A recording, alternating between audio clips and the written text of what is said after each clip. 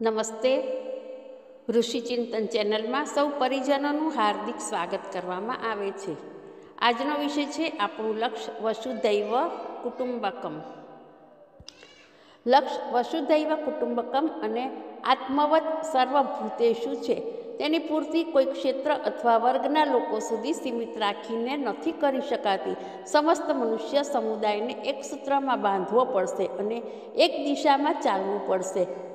નહીતર એક જગ્યાએ ફોલ્લો થવાથી આખા શરીરની વ્યવસ્થા જ બગડતી રહેશે.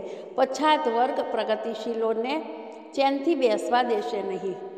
થોડાક જ અપરાધી સમસ્ત નગરની શાંતિ ભંગ કરીને રાખી દે છે.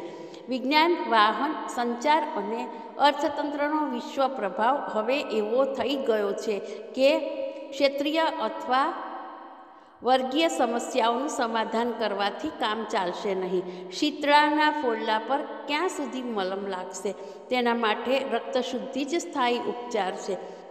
મચ્છર માખીઓને મારતા રહેવાની અપેક્ષા ગંદકીને હટાવીને તે ઝેરની જળને કાપવી જ યોગ્ય છે. નવનિર્માણનું કાર્ય વર્તમાન પરિસ્થિતિઓમાં ત્યારે સફળ થઈ શકે છે. જ્યારે તેની પરિઘી વિશ્વવ્યાપી હોય અને સમસ્ત મનુષ્ય જાતિને એક પાલોમાં સમાવીને એક દોરીથી બાંધવામાં આવે. નવી દુનિયા જ્યારે વસશે, ત્યારે તેનો આધાર કાતમાં હશે. અલગતાવાદનો બધો વિગ્રહ સમાપ્ત કરવો પડશે. અનેક દેશ પોતપોતાના સ્વાર્થ માટે લડતા, ઝઘડતા ન રહે. તેના માટે સમસ્ત દેશોને નાના નાના જિલ્લા માનીને એક જ સમસ્ત વિશ્વ રાષ્ટ્ર બનશે.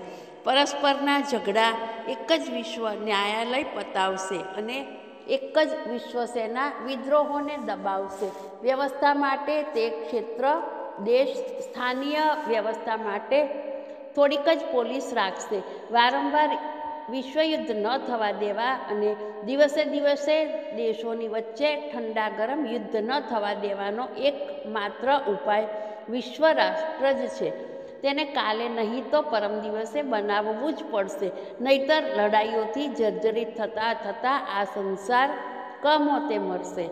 એક વિશ્વભાષા પણ અનિવાર્ય છે, જેથી ભાષા ભેદના કારણે જ્ઞાન વિસ્તારમાં પારસ્પરિક આદાન પ્રદાનમાં જે મોટી મુશ્કેલી થાય છે, તેનો અંત આવે. ભારતમાં જ દસ મુખ્ય ભાષાઓ છે. તેના બોલનારા જ્યારે મળે છે, ત્યારે મૂંગા બહેરાની જેમ તેઓ પોતાને અપંગ, અસમર્થ માને છે. પ્રેસ સાહિત્ય અલગ અલગ રહેવાથી એટલી અસુવિધા થાય છે કે વિચારોનું આદાન પ્રદાન અને જ્ઞાનનો વિસ્તાર અતિ મુશ્કેલ અને અતિ જટિલ બની જાય છે. વિશ્વ પરિવાર બનાવવો છે તો વિશ્વ ભાષા તો બનશે જ. ત્યારે જ્ઞાન અને આદાન પ્રદાનની એટલી સુવિધા, એટલી સરળતા રહેશે કે અત્યંત સસ્તામાં જ્ઞાન, સંપદા અને સહયોગ વ્યવસ્થા ગગનચુંબી બનવા લાગશે. માનવ સંસ્કૃતિ એક થઈને રહેશે. વિશ્વ ધર્મ, વિશ્વ આચાર, વિશ્વ પ્રચલનનું સ્વરૂપ એક બનીને રહેશે. તો આચાર ભિન્નતાને કારણે જે મનોમાલિન્ય વધે છે, જે વિગ્રહ ઊભા થાય છે, તેની કોઈ ગુંજાઈશ રહેશે જ નહીં. વિશ્વદર્શન એક હોય તો ચિંતનમાં વ્યતિરેક વિગ્રહ કેમ ઊભા થાય?